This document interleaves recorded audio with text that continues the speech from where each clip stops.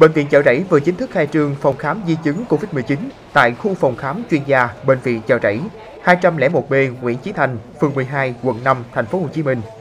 Theo thông tin từ các bác sĩ, từ cuối tháng 4 2021 đến nay, thành phố Hồ Chí Minh có khoảng trên 300.000 người từng nhiễm SARS-CoV-2 khỏi bệnh được xuất viện. Điểm đặc biệt là 2 phần 3 số người nhiễm COVID-19 nhiều tuần đến nhiều tháng sau khi khỏi bệnh vẫn còn đối mặt với hàng loạt triệu chứng và di chứng kéo dài. Cái than phiền của bệnh nhân thường gặp đó là, là những dấu hiệu hụt hơi và có những bệnh nhân à, đã để lại những di chứng hình ảnh sơ phổi trên X-quang cũng như là những bệnh nhân à, có những biểu hiện trạng thái lo lắng vì trạng thái thần kinh. Người dân bị nhiễm Covid-19 thì chúng ta nên đến bệnh viện để kiểm tra cái tình trạng sức khỏe à, kiểm tra sự ảnh hưởng của Covid. Và đối với nhiều cơ quan trong cơ thể chúng ta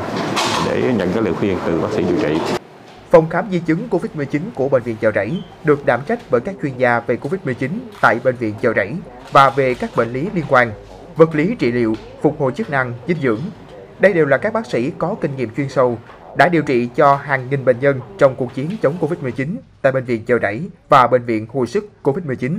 cũng như các bệnh viện khác ở thành phố Hồ Chí Minh và chi viện cho các tỉnh thành trong cả nước.